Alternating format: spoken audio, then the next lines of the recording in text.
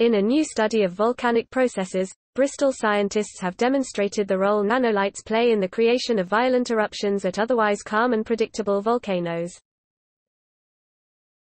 The study, published in Science Advances, describes how nano-sized crystals nanolites 10,000 times smaller than the width of a human hair, can have a significant impact of the viscosity of erupting magma, resulting in previously unexplained and explosive eruptions.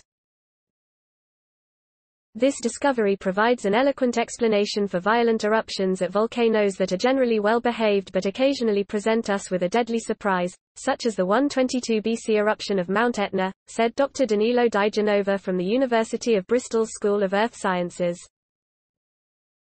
Volcanoes with low silica magma compositions have very low viscosity, which usually allows the gas to gently escape. However, We've shown that nanolites can increase the viscosity for a limited time, which would trap gas in the sticky liquid, leading to a sudden switch in behavior that was previously difficult to explain. Dr. Richard Brooker also from Earth Sciences, said, we demonstrated the surprising effect.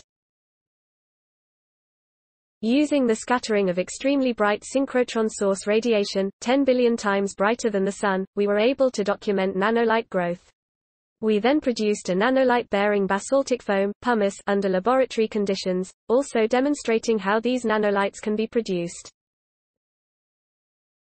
This is the focus of a Natural Environment Research Council, UK, and National Science Foundation, US grant quantifying disequilibrium processes in basaltic volcanism awarded to Bristol and a consortium of colleagues in Manchester, Durham, Cambridge and Arizona State University.